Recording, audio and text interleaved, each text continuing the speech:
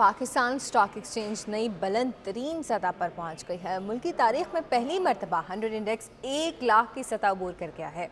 सरमाकारों ने इसको अहम संग मील करार दिया है। इस बारे में तफसलत क्या है, जानते हैं कराची से नजीब नाइज की इस रिपोर्ट में।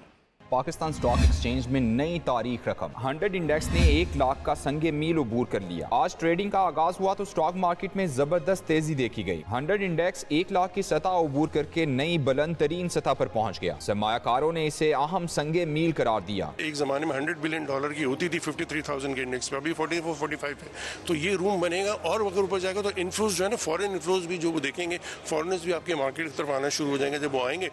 देखिए मार्केट में जब लिक्विडिटी आती है तो प्राइस डिस्कवरी प्रॉपर होती है। अगर ज़्यादा इन्वेस्टर होंगे तो मार्केट की ने तो ऊपर ही जाना है। यकुम जनवरी 2024 को 100 इंडेक्स चौसठ हज़ार चार सौ की सतह पर था। 11 माह में 100 इंडेक्स में छत्तीस हज़ार पॉइंट का इजाफा रिकॉर्ड किया गया। 100 इंडेक्स 17 माह के अरसे में चालीस हज़ार से एक लाख पॉइंट तक जा पहुँचा। स्टॉक मार्केट के साथ साथ दूसरी जो चीज़ें हैं वो भी बेहतर हुई।